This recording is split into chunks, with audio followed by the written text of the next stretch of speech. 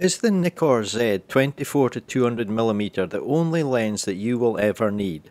It would of course be wrong of me to say that's the case for everyone, but for those with a compatible camera who shoot only landscapes, who feel the quality is suitable for their needs, then it very well could be.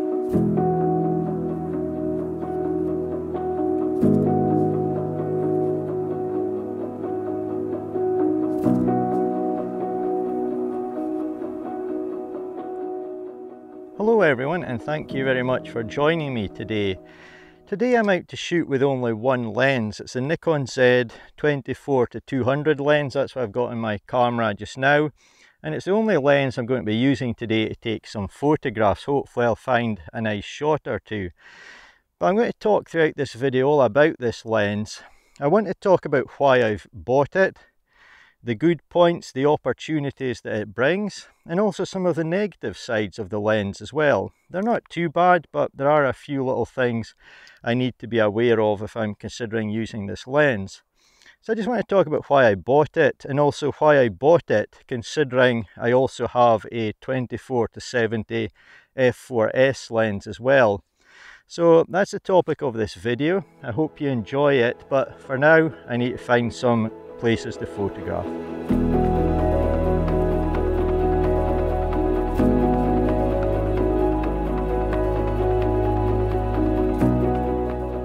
The first reason I bought this 24 to 200 millimeter lens is because of the fantastic focal length range that it offers in one lens.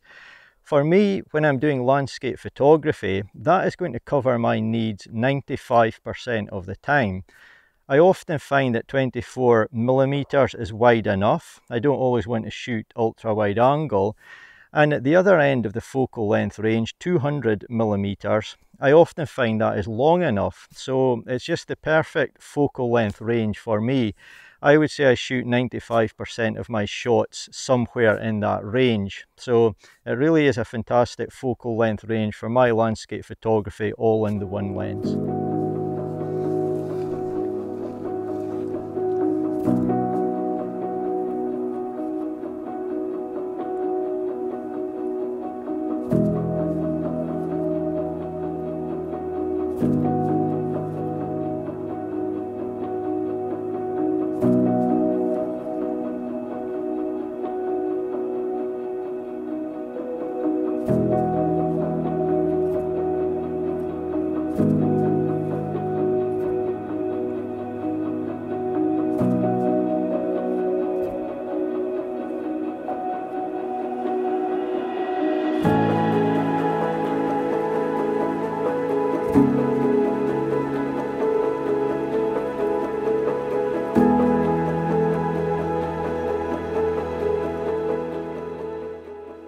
The next thing about this lens which really appeals to me is that it is very light. It weighs 570 grams, which considering it's a lens which I can use in a full frame camera, offering the focal length range 24 to 200 uh, millimeters is quite impressive. That's quite a lightweight lens. I'm really happy to hand hold this most of the day or use a neck strap. So that's fantastic. And just putting this camera and this lens into my backpack versus putting my camera and perhaps two much heavier CF 2.8 lenses into my backpack which cover this focal length range makes a tremendous difference to me. I've talked about this a little bit in previous videos but over the last few years I've been making a strong effort to keep the the weight of my kit down but still try and maintain good quality and I think this lens here is a key part of me being able to achieve this. The quality that it offers is really good. I'll talk more about that later in the video. But it's such a, an advantage and a bonus to have a setup that captures really good quality images but keeps the weight down. It can encourage you to go around that next bend when you're maybe tiring carrying a bag full of other lenses it can encourage you to walk further up to reach the top of a hill and open up fantastic views and fantastic opportunities for photographs. So keeping the, the weight of my kit down is really important to me. And not everyone is making YouTube videos, of course, But everything that I've just spoken about applies to my landscape photography, but also when I consider I'm making YouTube videos, that involves carrying extra weight. And the weight of your kit, everything you need for video making, perhaps carrying some food and water as well, it can get really, really heavy and it can drain your energy, especially if you're walking long distances or climbing hills. So I'm always keeping the weight of my kit set up to the forefront of my mind and this uh, lens and camera combination really helps keep that down and capture fantastic quality images.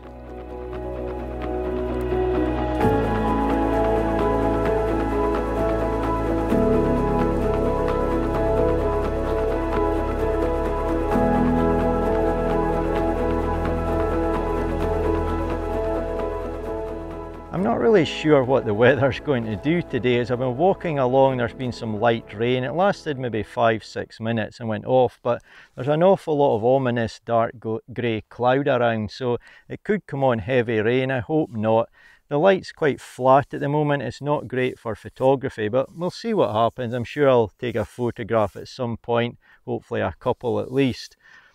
But this is related to the next benefit of having this 24 to 200 millimeter lens. I know when I'm out I'm not going to need to change lenses and that's fantastic if it, if it comes on heavy rain or if I'm in an environment where there's a lot of dust blowing around and that could potentially go into the sensor. It's great to know you don't need to change lenses. As I say, this focal length range offered by the lens covers 95% of my needs. And the other thing is that not having to change lenses does increase, in my opinion, your opportunities for taking nice photographs. So, for example, I could be up a hill or a mountain, taking in a, a wide angle shot, some nice foreground mountains in the background. And then off to the side, I see suddenly the light comes out and illuminates a mountain peak and I see a composition and I know it's a fleeting moment which I have to grab.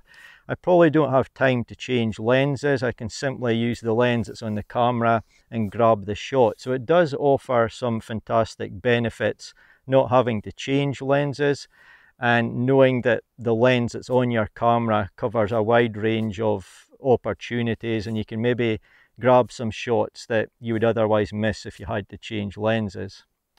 But anyway, I'm going to continue on my walk today and fingers crossed the rain won't come on.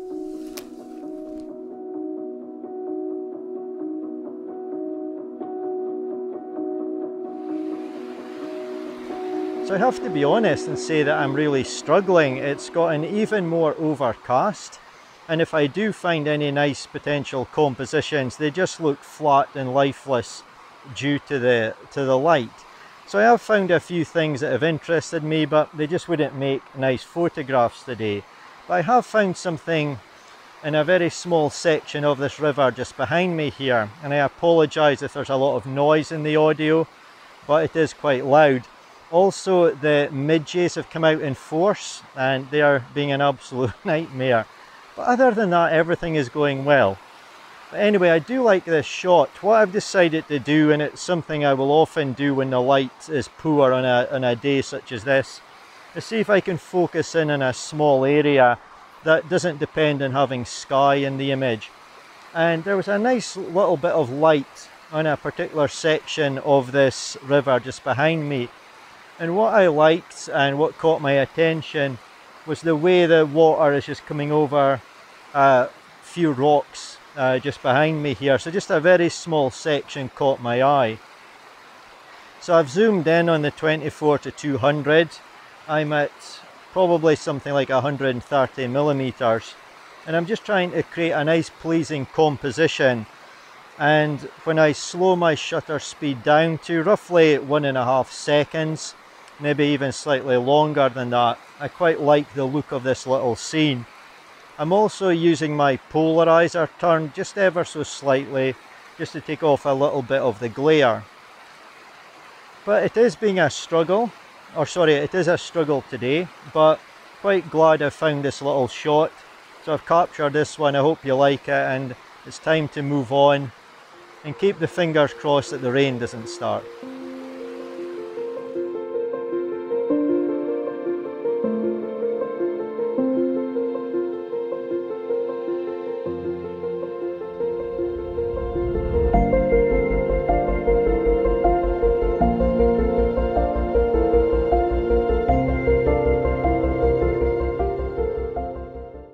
As I said while on location, the sky became incredibly overcast and the light went really flat.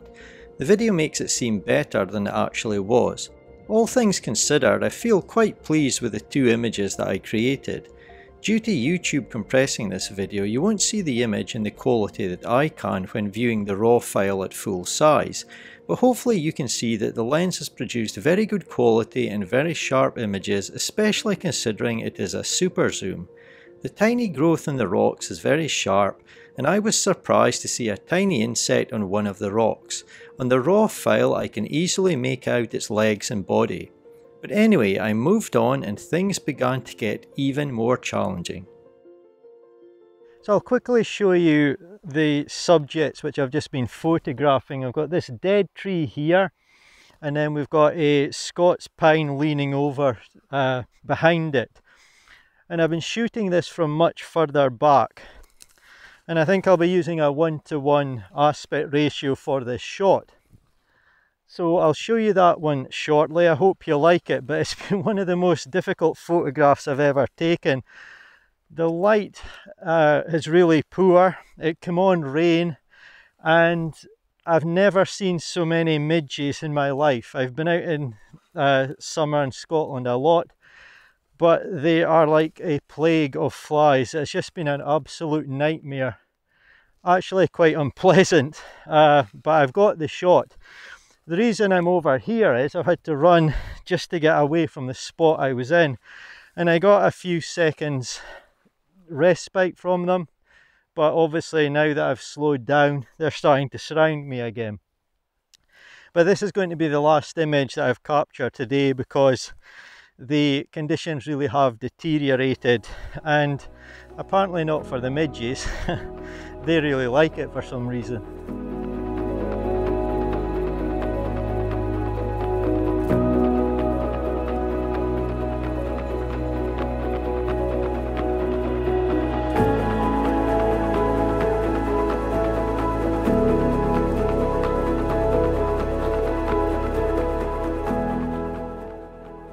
Definitely not someone who likes complaining, far from it, but this has been the most difficult and taxing video for me personally that I've ever made.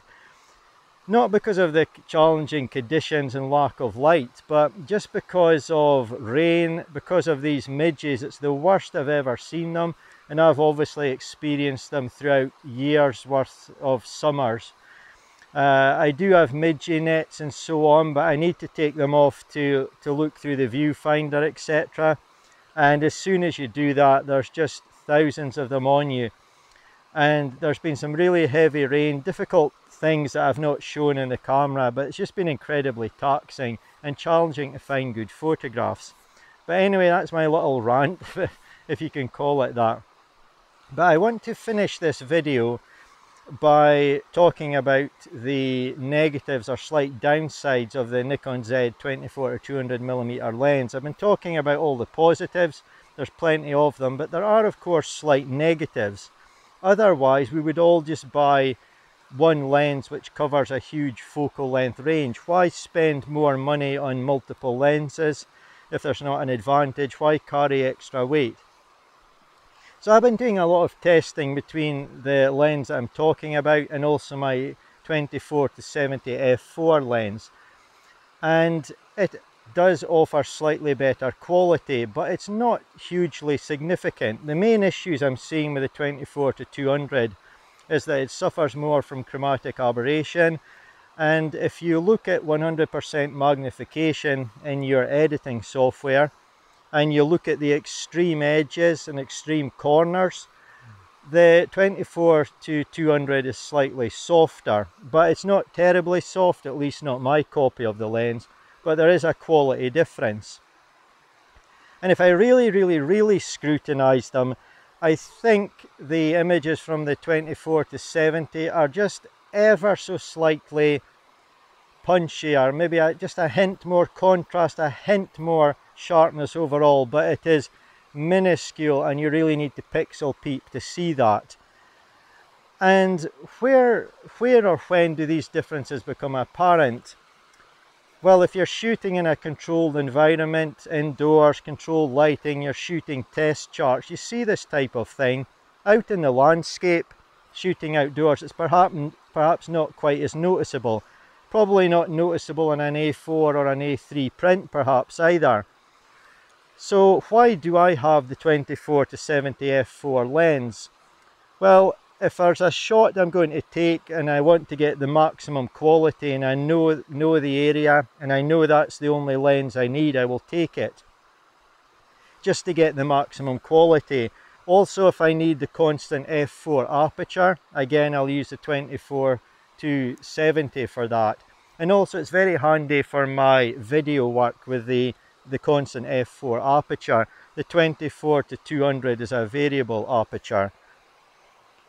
And of course, if I was to buy the f2.8 versions of Nikon's Z lenses, such as the 24 to 70 and their 70 to 200, again, I suspect I would see a bit more quality difference in those, especially if I pixel peep. Those lenses are more expensive, much more expensive, partially because they offer a, a wide open aperture of f2.8 but they will probably offer better quality images as well. But they're far more expensive and they are far heavier and you have to carry multiple lenses. But overall, I'm extremely satisfied with the 24 to 200. Uh, I would be very happy to take a shot, which is one of my portfolio shots with this lens. I would be happy to sell prints uh, from images taken with this lens. I, I wouldn't sell anything I'm not 110% happy with and I definitely would be happy uh, to sell know, large prints taken with this lens. It really does provide excellent quality. But I think from me and my 20 million little friends which have joined me again, I'm really going to have to end this video here. But I hope you've enjoyed watching. I hope this has provided some useful information you can see why I've bought the lens, why it may work for you if you're a, a Nikon Z shooter, and uh, why I also have the 24 to 70. So there's times I will know that I can get the shot within the 24 to 70 range and use that lens. There's other times I'll just go out with the 24 to 200 and there's times I'll go out with both. It gives me a lot of options. But anyway, I have to end the video here. Thank you so much for watching. I really do hope you've enjoyed it. And hopefully I'll see you in my next one. But without my millions of little friends. Oh, they're horrible.